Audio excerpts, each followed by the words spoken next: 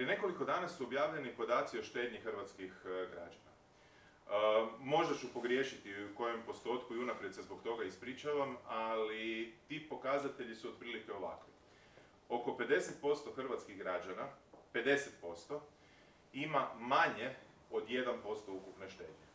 Ajmo reći, to je jedna Hrvatska. 2% hrvatskih građana, s druge strane, ima oko 40% štednje. To je druga Hrvatska. Dakle, definitivno postoje dvije Hrvatske. Postoji Hrvatska koja ima, koja si može priuštiti sve što poželi i postoji Hrvatska koja nema. Hrvatska koja uz to što nema je postala i najveća žrtva ove galopirajuće inflacije koje smo svjedočili u zadnje dvije i po godine.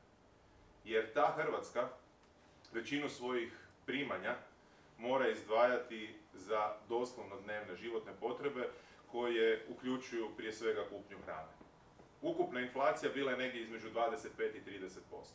Ona inflacija koja se odnosi na hranu, po onome što je vlada sama poslala u Brisel prije nekoliko mjeseci, je preko 40%. Ova Hrvatska koja nema, ovih 50% koji imaju manje od 1% ukupne štednje hrvatskih građana, ta Hrvatska je najviše stradala za vrijeme inflacije.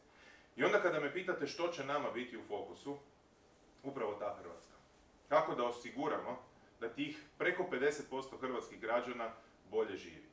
Zato je prva i najvažnija stvar borba za standard hrvatskih građana. Borba za veće plaće, borba za veće mirovine.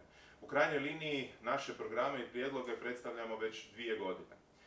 Početkom 2022 debelo prije vlade predstavili smo prvi prijedlog antiinflatornih mjera. Vlada je reagirala mjesec dana nakon SDP-a i kopirala dobar dio onoga što smo e, predlagali.